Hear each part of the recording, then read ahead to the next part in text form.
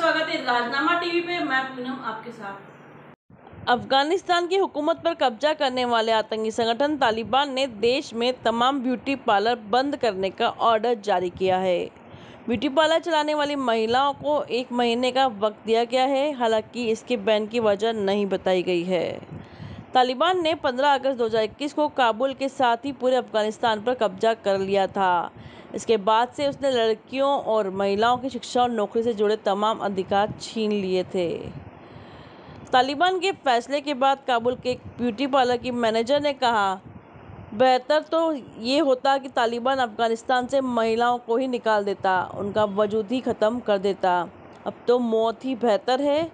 अच्छा होता अगर हमें अफ़गानिस्तान में जन्म ही नहीं लेना होता। ब्यूटी पार्लर बंद किए जाने के लिए तालिबान हुकूमत ने लेटर हेड पर ऑर्डर जारी किया है। इस पर सुप्रीम लीडर हिब्दुल्लाह अर्जुनजादा के दस्तखत है। हैं